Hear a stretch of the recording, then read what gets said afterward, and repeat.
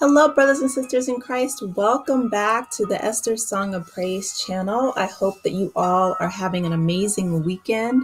If you're new here, welcome. What I like to do is share a bit of my thoughts, and then we go into a brief prayer, just asking the Lord to bless us with wisdom as we cover the chapter.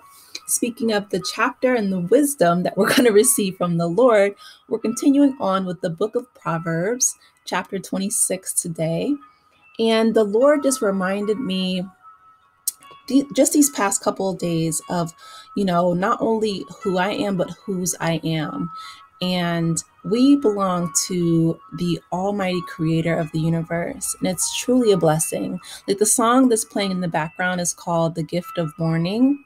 And it is such a beautiful, blessed gift to wake our to wake up every day, to open our eyes and to experience, you know, a new morning. That's a blessing that many people did not receive even today. So, with that being said, you know, go make the most of your day.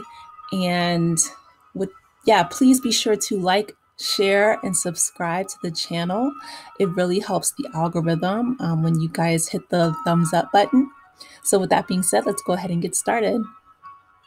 Heavenly Father, we thank you so much, Lord, for every single day that you bless us with. Morning by morning, new mercies we see. We thank you for the gift of grace. We thank you for your love. And we thank you for what you're doing in our lives, changing us to be more like you every single day. Father, we ask that you will bless us with wisdom, Lord, out of this chapter today, Father, that you will just continuously change our hearts and our minds to be more pure. Lord, we need a blessed touch from you, Father. We need you to continuously help mold us to your image, Lord God. We thank you and we praise you. We ask that you would encourage anyone out there who's struggling right now. Lord, wrap your arms around them, Father. And we just ask that you would encourage them, Lord God. Let them know that you will help them through each trial and tribulation, Father. We thank you and we praise you, Lord. Give us wisdom from your chapter today. In Jesus' name, amen. The book of Proverbs, chapter 26. Like snow in summer or rain in harvest, honor is not fitting for a fool. Like a fluttering sparrow or a darting swallow, an undeserved curse does not come to rest. A whip for the horse, a bridle for the donkey, and a rod for the backs of fools. Do not answer a fool according to his folly, or you yourself will be just like him. Answer a fool according to his folly, or he will be wise in his own eyes. Sending a message by the hands of a fool is like cutting off one's feet or drinking poison. Like the useless legs of one who is lame is a proverb in the mouth of a fool. Like tying a stone in a sling is giving on is giving of honor to a fool. Like a thorn bush in a drunkard's hand is a proverb in the mouth of a fool. Like an archer who wounds at random is one who hires a fool or any passerby. As a dog returns to its vomit, so fools repeat their folly. Do you see a person wise in their own eyes? There is more hope for a fool than for them. A sluggard says, There's a lion in the road, a fierce lion roaming the streets.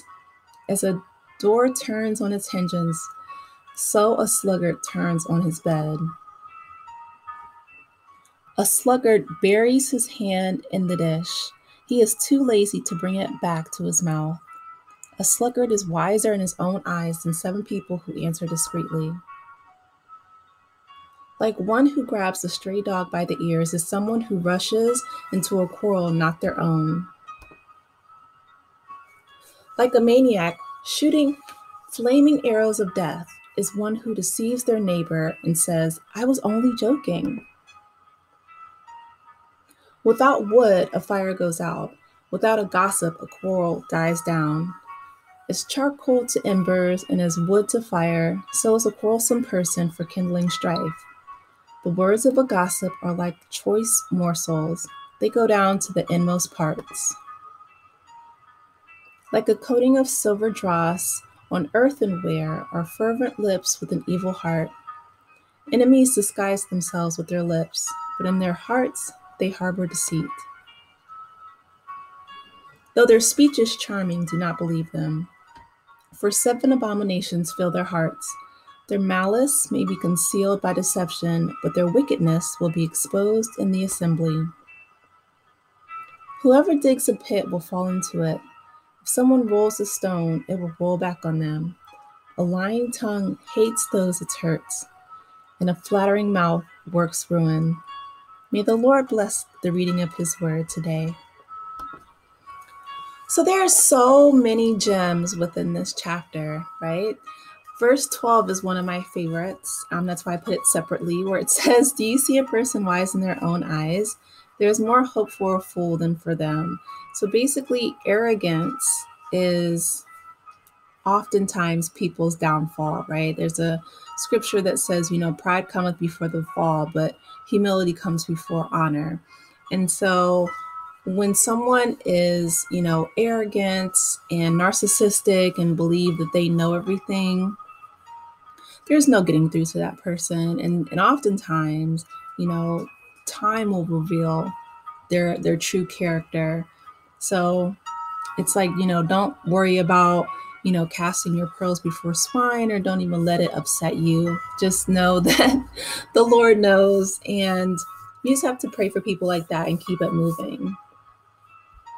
Um, another, you know, verse 13 um, through 16 talks about, you know, being lazy.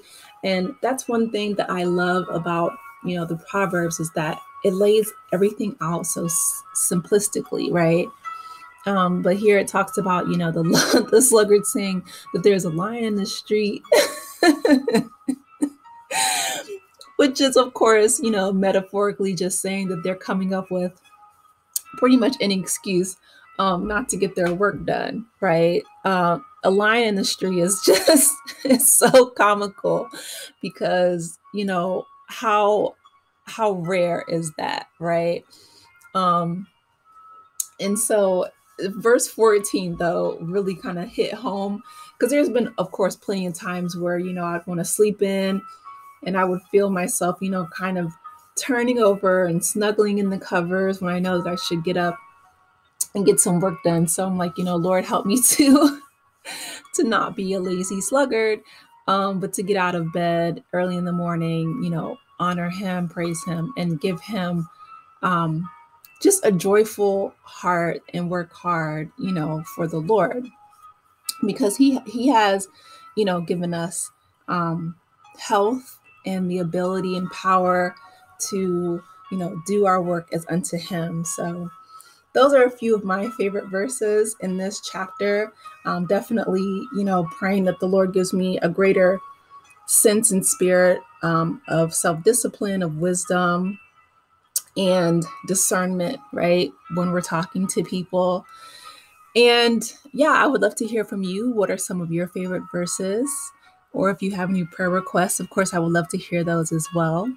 And as always, please be sure to like this video, subscribe to the channel, and have a wonderful weekend. And I will talk with you later. Take care. Bye.